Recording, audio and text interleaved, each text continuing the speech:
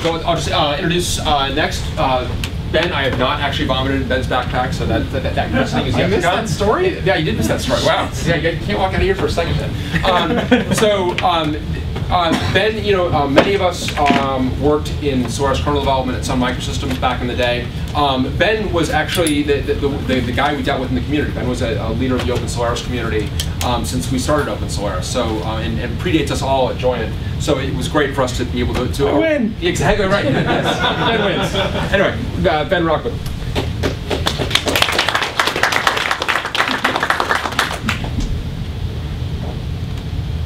Yeah, thank you. Yeah, it's been a wild ride, man. I mean, if, you, if you've if you've dealt with Sun uh, back in the day or, or other companies, you know, and, and, and begging, you know, can you please finish this bug? I could really use that. I used to uh, email uh, Jerry Jelinek, and uh, particularly because he was doing zones and, and uh, all the guys in the crossbow team, and like asking, like, you know, hey, I could really use that feature, like right now, if you could just finish that. Um, I think. Uh, uh, uh, uh, what was it? It was the resource controls uh, that, that was added on the zones. I forget the name of the project, uh, but that one I actually like. I actually kept emailing Jerry so much that he actually pushed it for me before he went to lunch uh, because I needed it so bad. Um, and now he's on staff, which is just kind of wild, right? Now I can just like open a ticket for him uh, or hit him on an IM. Please do this. So it's been interesting. Um, so Ryan Nelson was going to do a talk in this slot uh, called uh, SmartOS by the Rack. Um, that could mean like four different things, and I'm not really sure what you meant. So I changed the title to SmartOS and SH Primer, uh, or Primer, depending on what school of thought you come from. Um, this talk is intended to be a very quick kind of preview of what a day in the life of SmartOS administration looks like. I'm not going to explain everything or go into massive detail on every little concept, but most of you, I assume, know Solaris pretty well. If you're in Solaris 10, raise your hand. Oh, I'm gonna fall down. Everyone was supposed to raise their hand on that one. Okay. Open Solaris? Oh. HPUX? while ago. Okay. I just want to make sure there weren't more than like 5% of the hands on that one. Um, Wait, why the HPUX meetup? That's still live. Uh, and who's actually run SmartOS? Oh. Cool, thank you. Um, so the thing is, is that because you already have a history with Solaris, and this is uh, this is descendant, albeit a, a far way from Solaris, when you start, you may start looking around for things that look familiar. It's a very different platform. This platform is honed for a very specific purpose, and you may get a little lost, confused, and scared out there. So I want to kind of give you a lightning tour through what it looks like, so that when you go and try it for yourself, which you're totally going to do tonight when you get home after you kiss your wife, um, you'll be like, oh, I just go right here, and the docs will make sense and stuff. Okay? This has been said before, but it is really, really important that you understand. SmartOS is a virtualization platform, what some people will call a hypervisor, although it's not technically a hypervisor. Um, it is a virtualization platform. It was built specifically for that purpose. Don't understand that, you're going to walk off into dark, deep forest. Okay. Now, this is how I think of the Illumos landscape. Um, the really cool thing about Illumos is that that that's, that the Solaris was an amazing tool that can do a lot of different things in a lot of different arenas. And it was a little confusing when you had one mega tool that could be used to build a switch or build a virtualization system or build a NAS box or whatever. Now that we have specialized distributions of it, it makes life a little more grokkable. So, the, in my opinion, the big three that descend from Illumos are Nexenta for storage, SmartOS for virtualization, and OmniOS as a general purpose server. If you are looking for an Illumos distribution that, that will mimic what you used to do with Solaris 10 and Open Solaris builds, and you want to be able to run like, you know, a honking database in the global zone, you don't want to use virtualization, don't do it on SmartOS. Life is going to be scary. Go with OmniOS. OmniOS is freaking awesome. I'm not just saying that because Theo is here. Because look at that logo. It's freaking awesome. Hey, Um, wait a minute. You're dissing my logo. No, I lo- no no no no no no. Awesome logo. See all the cool logos? We have a lot of cool logos, and I like ours the best. But it's a dragon.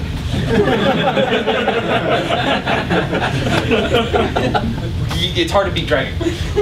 Um, so down here, I put the the the bastard uh, uh, distributions. Odeon, O- BeleniX and StormOS. I hear that BeleniX is back from the grave.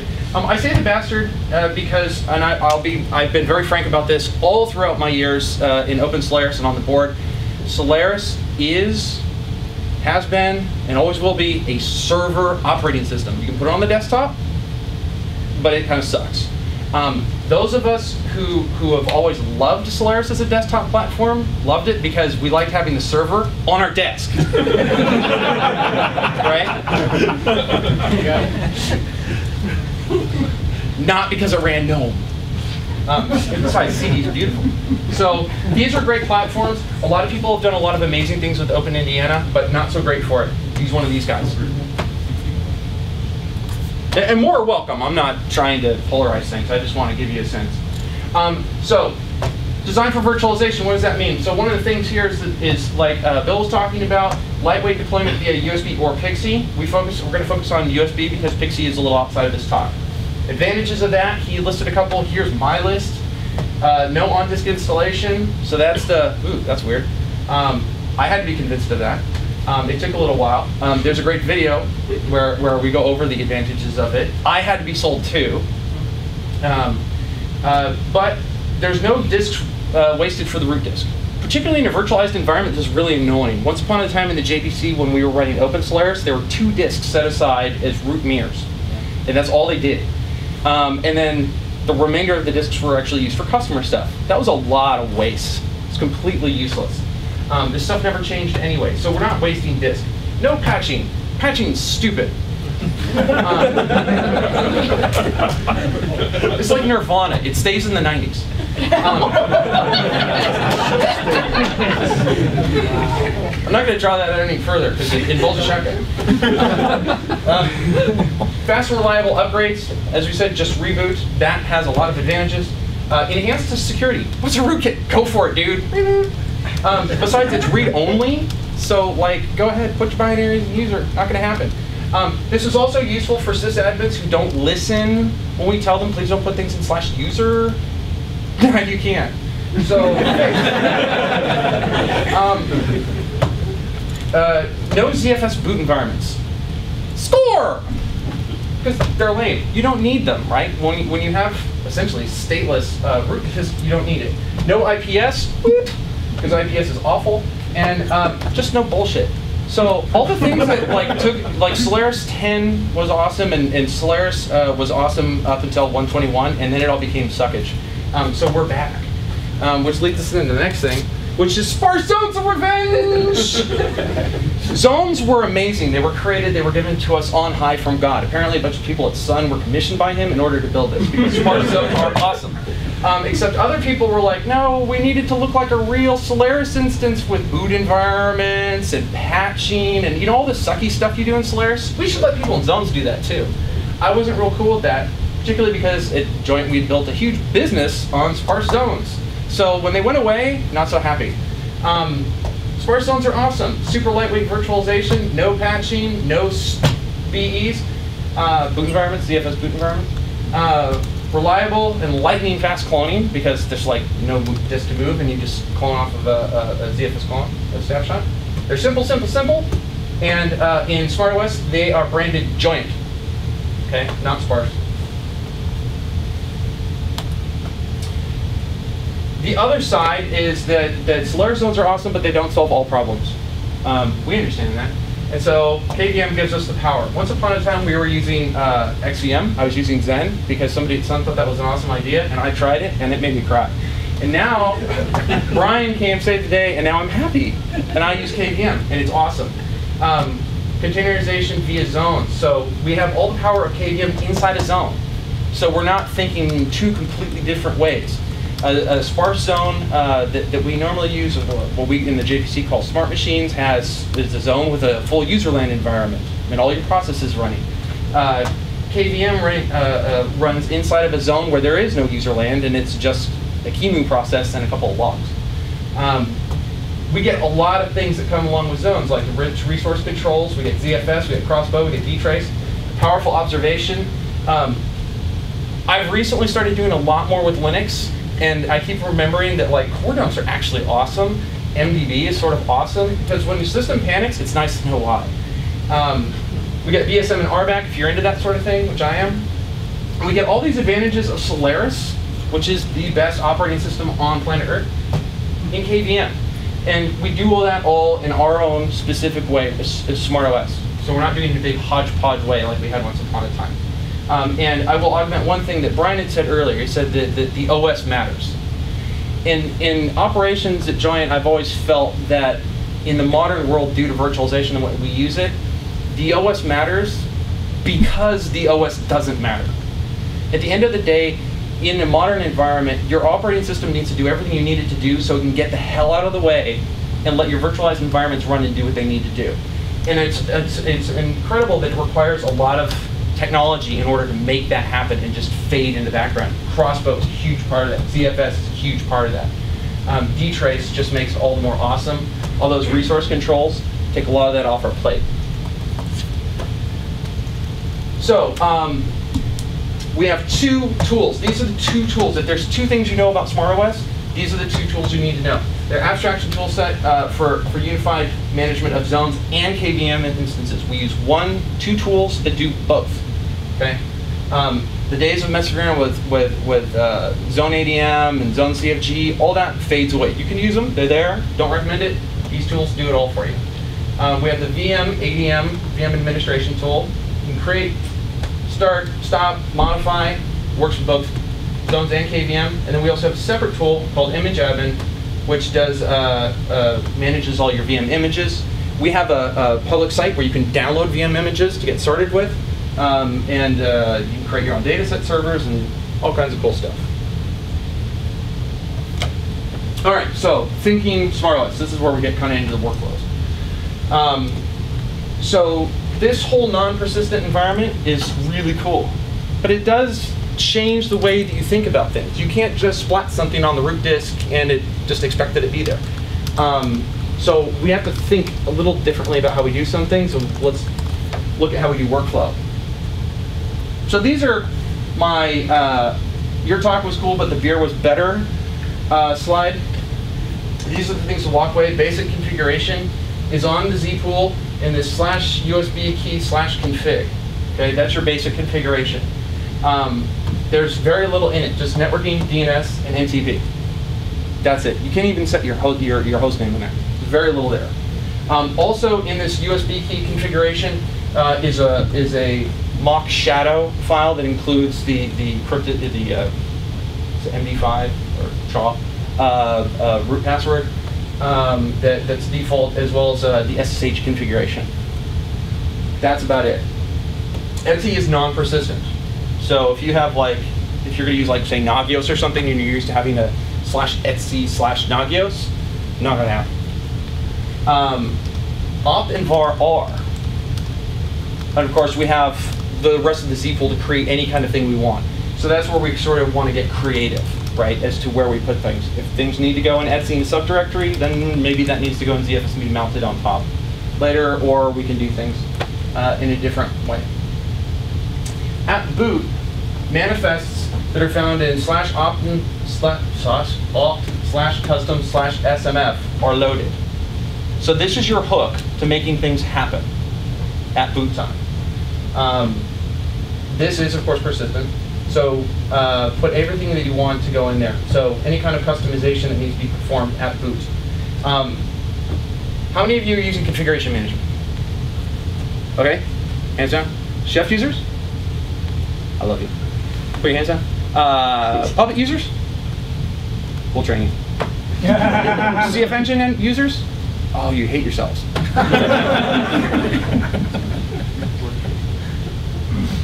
I like all those guys. I'm friends with all of them, so I shouldn't say it because this is being recorded, right? So I shouldn't have just said that.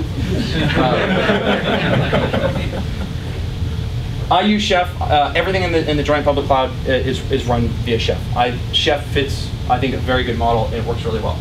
The interesting thing about this whole non-persistence thing is, for a lot of us, you're thinking like, yeah, configuration management is important. I should really get around to that. It's probably something I should do, but all these systems are already running and you know, whatever, I'll get around to it one day.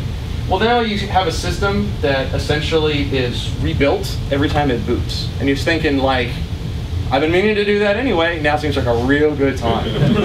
um, that's essentially what happened. In JPC 1, I had this monstrous uh, uh, uh, post install setup in my Jumpstart server. It was the most awesome ever, and I almost wrote a book about it because it was so awesome. Um, and the funny thing is, is of course, everyone spent months, years working on this awesome Jumpstart infrastructure. We all had it, right? We were all very proud of it. Mine even had like uh, uh, brandings for it. It was that cool.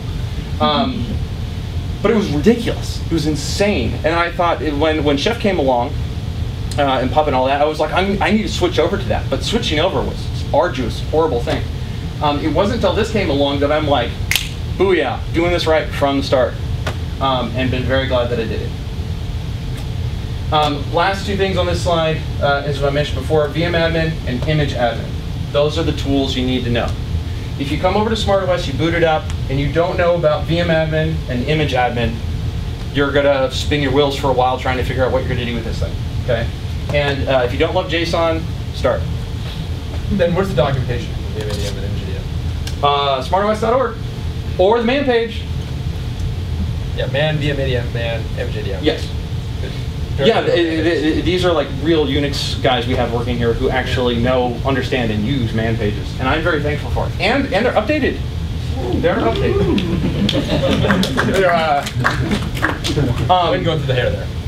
Now I will go one step further. The, the man pages are fantastic. The, the the documentation on the website, eh, we're getting there. Um, um, I'm going to be spending a lot of time actually in the next two weeks improving it because uh, it can be better. You Um, T off the HTML converter. Right. But one of the interesting things is both those tools are written in Node, which is JavaScript, which is simple. So you can actually just go and read the code without knowing JavaScript or any of that stuff. It's very, very straightforward, and, and it's amazing how much you can rock out of code pretty quickly, actually. So, okay, so let's talk about some basic workflows. First, uh, first and foremost is the installation uh, from USB workflow. So you're going to download the USB image. You're going to DD it onto a USB key. You need a USB key that's two, two gigs or bigger. That's all right, right? Um, I normally use eight. You can buy them in huge packs at Costco. It's awesome. They also have a, a, a very cheap alcohol that you can pick up while you're there. it helps the install go. Once you've done that, you've now got this USB key, you're going to insert your key, and you're going boot. That's something you've probably done a lot of. You want to make sure that you do have a system with Intel VT extensions, right? You probably do. Um, this one thing here just means that you are not going to be able to do what you did with Linux when it came out was cool. You cannot take the 46 piece of crap in the closet and boot it up and be like, Linux totally sucks. Yes? Quick question, does that mean it won't work on an big chip? Or if it has? Not going to answer that question. So- Out of bounds. I just to clarify, the requiring VT, the the VT extensions are specifically for KVM and running EPT. It works just fine on AMD, there's no KVM support on it. Okay. Uh, Good point, good point. Yeah, you, any 64-bit chip will run SmartOS. Okay. It will not, not all 64-bit chips will run KVM. And Smart, what, yeah. And SmartOS without KVM is not as exciting. Yes? Um, SPARC's a 64-bit chip. Yeah, buddy. Do you want us to repent now or afterwards?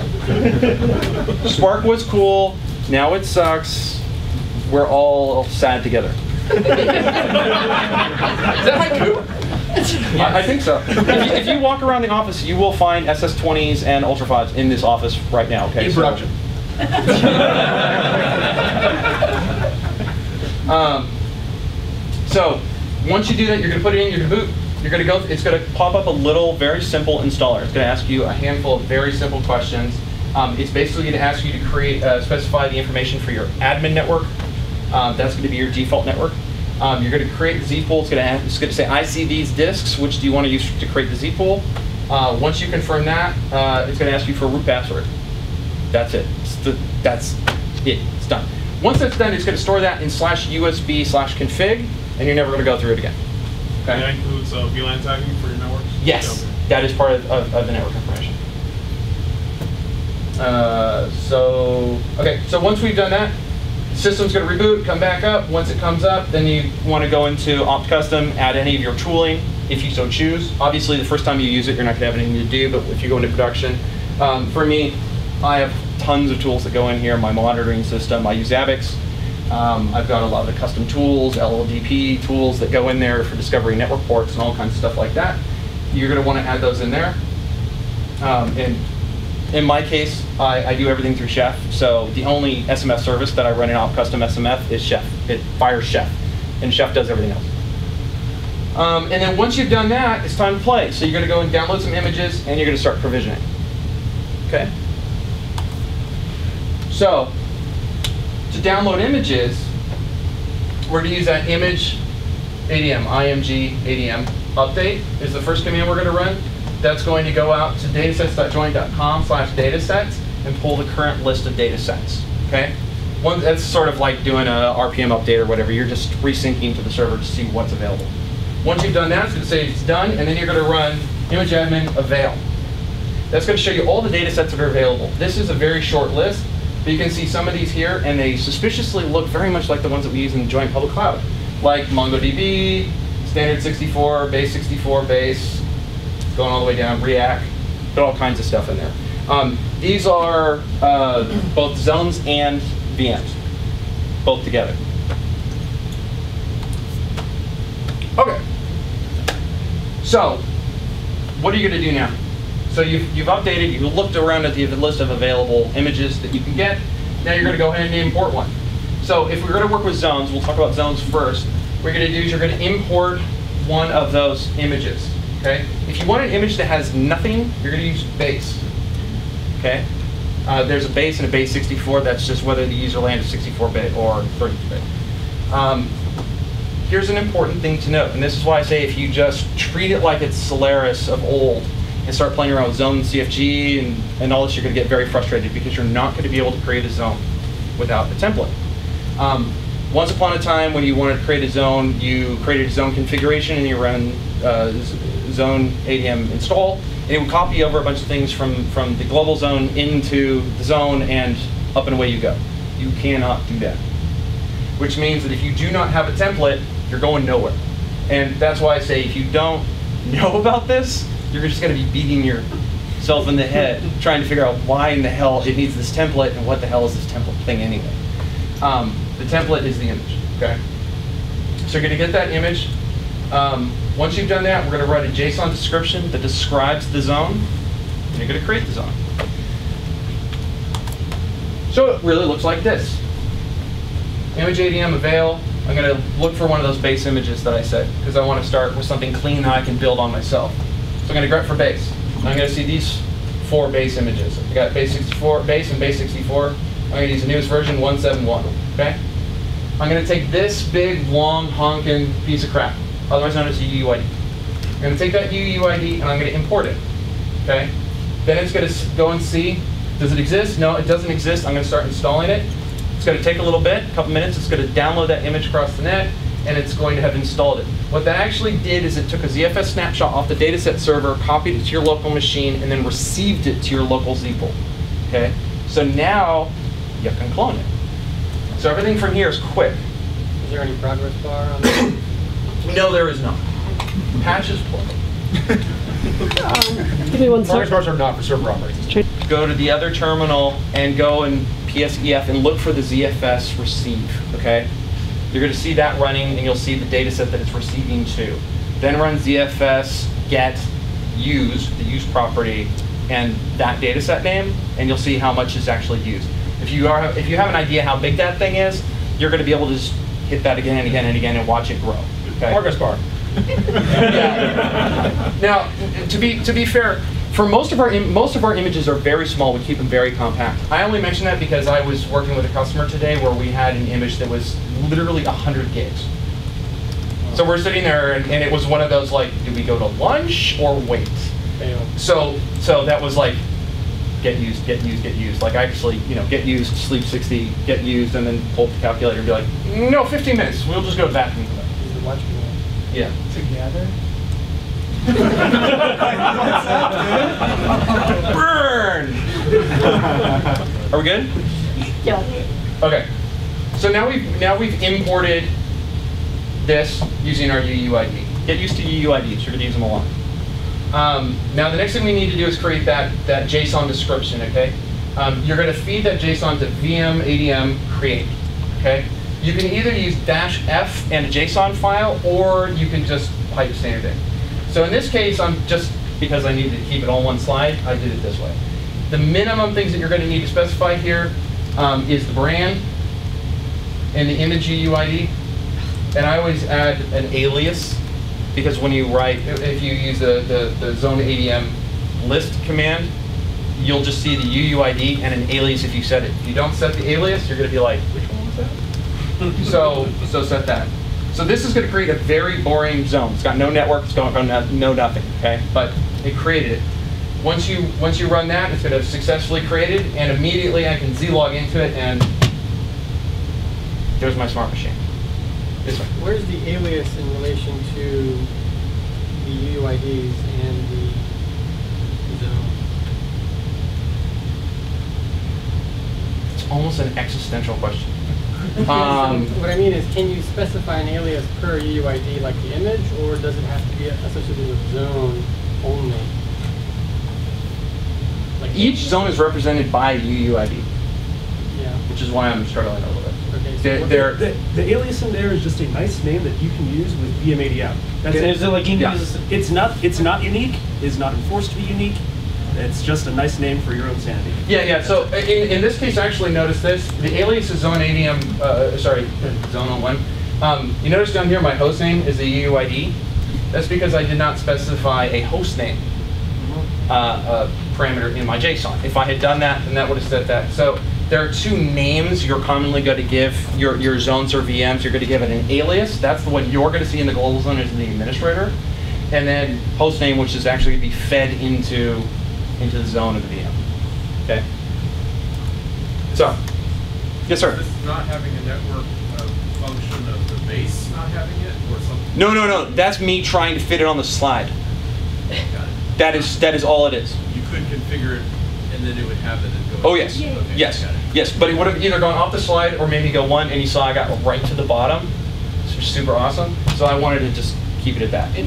Man VMADM for lots and lots of examples. Yes. So the, and that's one of the things. It has all all the parameters that are available. Uh, you can see them there, and because of the fact that, like I said, we have our esteemed people from Sun. You recall one of the things that people at Sun understood is is that the thing that you read in a man page is examples at the bottom. you don't read all the crap at the top. Read the examples at the bottom. Um, first. yeah, because I, I guess Linux people they all have internet connections and can use Google to search these things, but us, you know, old school Unix folks are all just like just read the man page and see the example. Um, every time I use Linux, I go to the man page, I immediately go to the bottom, I'm like, dad, tracks. I have to like read. Um, okay, so KVM workflow. So you to be the exact same workflow. Now this is one thing that's very, very important. Um, like if you ever did use Xen on Solaris, which was branded XVM, it was entirely different than zones, two completely different beasts. You could know one and have no idea how the other one functioned. Um, in this case, KVM and zones live in harmony under one toolchain. It's all managed the same, which has tremendous advantages. This is also one of the things that you're not going to pick up if you go over to OmniOS or any of the other Illumos distributions that end up having KVM. They have QEMU and they have all that, but they don't have the tools that Unify it, right? So if you want that kind of really nice, polished, targeted uh, feel that you get from from a, from from a distro, you're going to get that with SmartOS, not others. So when we do K, when we do KVM, we're going to do it just like a zone, um, but with two options. Um, we have two options here because we actually can create it from nothing. So we can create an empty instance and then boot it from an ISO. A lot of times that's what you're going to want to do for fresh install. Or you can go to our nifty handy dandy image server and just download the latest Ubuntu or whatever you want. Right? Obviously, we all know the trade-offs of getting somebody else's versus doing your own. I will say that when we do create images, we try to keep it as vanilla as possible. We're not trying to, you know, customize it or anything like that. We want to just save you the trouble of having to install it without inflicting our opinions on you. Um, and like we talked about before, QEMU runs inside uh, a minimal zone. Um, there's really nothing in there. You can't uh, zlog into that zone. There's there's no shells and all those things. Um, but what you are going to want to do from time to time if you have a problem booting um, is this is on the Z pool, right? Slash zones slash the UUID of the VM slash root slash 10. Okay? In there, you're going to find a VM.log and a start VM.log. So if you go and start a VM and you think it should be up and running, it's, it's like it's not pinging or something like that, you run VM ADM list and you see it's not in a running state, you're, wanna, you're going to want to go to that directory and see why it didn't start. A lot of times that'll be like if you have an image that's had a problem or something, it's just like crashing on boot or something like that. So ZFS and VMs. One other thing I want to mention about the, the difference between zones and VMs in terms of how it's going to look on ZFS is that with a zone, you're going to have this zones, that's our pool, slash UUID, okay? And that's all you're going to have. It's just this, and that's that's your zone.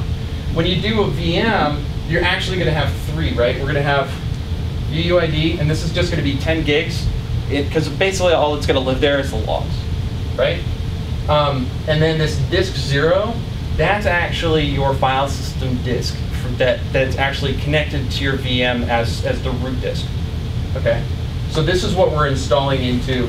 Um, so you can see this one here is 101 gigs. Okay, so disk zero. This also means that if you create a if you create a KVM instance and then you want to snapshot it and send it off as a backup, um, or if you want to create your own image, what you're going to do is you're going to you're going to customize your your VM, then you're going to snapshot this disk zero and send that to a file as, as a dump. That that's going to be your image. Okay. So of these three file systems, this one dash disk zero is the one you care about. If you have multiple disks, you're going to have disk zero, one, two, three, four. Okay. And you can see the all the other ZFS file systems we have here. Um, and you can see how these chunk here, ADE, these 669, these, 05D8, these, map to these. Zone ADM list. You can see these are VMs, two gigs, they're running, and these are my aliases. Yes? So if an image is describing the software that's running, can you run the same image twice and wouldn't have the same UUID? Yes! No, it's gonna have different UUIDs. So, All right. great question. Let's talk about images right now. So creating an image. Um, an image is nothing more than a ZFS snapshot and a DS manifest JSON file. Okay, it's the data and a little bit of metadata. Um, for KVM instances and snapshots, like we just talked about, it's going to be this disk zero. For zones, it's just going to be the UUID. And the way that you're actually going to, to turn this into an image is you're going to snapshot it, ZFS snapshot, dataset name, app, some name. You're then going to dump that, ZFS send that snapshot name, pipe it to a file, and then you're going to compress it with either GZ or BZ2. You must compress it. Um, my rec- I love BZ2. BZ2 is awesome, except that it's really freaking slow with gigantic files. So I recommend GZ. Um, it's not as tight, um, but it's a hell of a lot faster. Um, so, so in order to create that, we're going to do this. Okay. Now the thing that we need to supplement that with is metadata. What the hell is this blob of binary crap that we just made? Um, so we're going to create a DS manifest that's going to describe the disk image. It's going to have the size of, of the disk image. It's going to have a name associated with the disk image. It's also going to have a SHA-1 hash associated with that image. Get that right, or life will suck. Um, and we have a couple other pieces of metadata that I won't belabor here. You'll, you'll see in the documentation. Uh, it's going to have a UUID uniquely describing that image. That UUID applies to the image, not the not the instances you're going to create of it. Okay, we use UUIDs everywhere. Uh, it's got a name. It's got this thing called a URN, uh, which describes it. Um, you'll find things about that in the wiki. Creator, creation date, etc. And then finally, once you have that image, um, to complete the lifecycle, you want to take this image that you've created and customized and put love into, and you're going to want to put it up on a server so you can use it elsewhere. The way you're going to do that is uh, to either do it yourself. Um, the way that the server actually functions is really simple. You get a get slash and you get all these JSON blobs that come out of your DS manifests. And then it's going to try and download those files from slash UUID slash whatever the disk name is, and you can just kind of hack your own up. Um, I do this uh, on CuddleTech by taking all the DS manifests and catting them into index.html of a uh, image direct, uh, uh, directory, and it totally works. curl doesn't know the difference. uh, or, if you want to want to be nifty, um, fantastic gentleman wrote a uh, node-based image server, which you can get here, fire it up, and it runs. Huh? He was just on the stream until five minutes ago. Oh, we love him. He's gone. Um, so, so that's available. Alternatively, this company called Joyent makes this fantastic product called SDC, Smart Data Center, which does all this for you. Um, so, last thing, every two weeks, we're getting releases. So go get them, smartos.org. That's it. You can still go on one of your little introduction programs. Is that still true? Uh, sorry, what introduction OS. Are you talking about the FTC? Download? Uh, whatever. The download program? Uh, I don't know. Yes. Is it?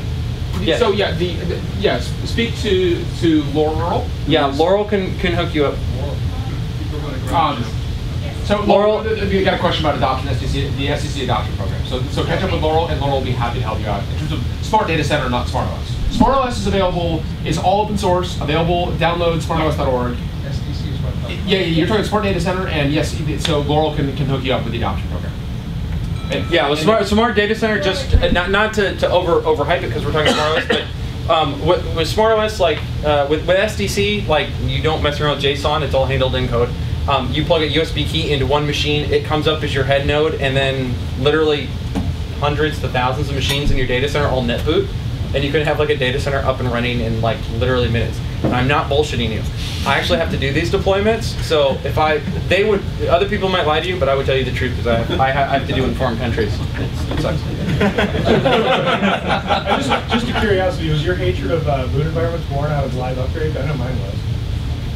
Oh, Use Omni. that's a beer drink. That is a, that, that- that is a beer drink. OmniOS. Boot environment's fucking work. OmniOS has boot environments, so if you want to rock it old school, And they work. Yeah, well, Go B- with- BEDM was always pretty friendly as far as I can tell, The live upgrade was hell. Live upgrade sucks. Oh, so Brian, I you think we're, we're going to pull the chairs into a circle later and have a little support. Yeah, yeah. let- uh, ju- just, to do something a little fun because you can't do this very often. Brian, can you stand up? Sure. Thank you for SmartOS, sir. I, uh, well, I, I right. thank everyone for starting us. I, I know you Theo, stand up. Am I stand gonna- up. Come on. Thank you for OmniOS. Nexenta's not here. They're down there. One representative. Oh, stand up. Thank you for oh, Nexenta. Hey, and here's another one. So, oh, which one do you have? And it's Nexenta. And Nexenta, okay. But I mean, isn't it in- incredibly cool that, that, that there's so much amazing power in Solaris and, and and and that that community, even though it was tried to be choked, is living on in new, unique, powerful tools. And I think Solaris is stronger than it's ever been. Um, it looks a little different than it did. It's called illumos now. We're living on the I'm not change the name for We're example. living on the asphyxiation high. We are, but it, it is cool. I'm feeling money. Never knew how good it could be. Anything? One more question? I think you partially answered it. I was going to ask, if you have to boot every box that you have off of the USB key, how do you do updates to, to that USB stick? I mean, that, that This is the important thing I want to remember. Th- This is this is something we talked about outside. This isn't like a live CD or something where you're running your operating system on the USB key, right? Because that's stupid. we don't do that. Um, it is purely a medium for booting uh, uh, uh, the, the images into memory, and at that point, like once you boot a SmartOS, you can pull that thing out. To answer the question, you can PXE boot the images. Um, Smart Data Center handles Right. that for you. But you, Right. the- All you need is one, all you need is one. and then have Yeah. Right. after So that. so in that case, you, you put the USB key in. It brings up the head node. So it's, it's all based on Right. SmartOS. Then Once that it, it, it unfolds everything, and then once it does that, everything else um, USB uh, PXE boots not on the USB key. Um, the only difference really uh, there between the way USB keys are used in, in SDC versus SmartOS is there is synchronization of configuration state eh, of the, the, the Smart Data Center head node onto the USB key that you don't have in SmartOS. Yes. Right. How do you do your network segregation between the? I said one more question, and that's a big one, so I'm going to avoid it. Robert, Do you want to introduce Robert? No, I'll introduce Robert. I mean, the answer, th- th- there is actually an answer to that question. Ben is not. There, no, I'm not snowing you. I'm just, I like, this is a super awesome talk. Yeah, so um, so uh, I'm, I, Robert, I again another backpack I've not yet vomited in. Um, uh, so um, um, Robert, I, I, I also was one of uh, uh, us at Fishworks at, at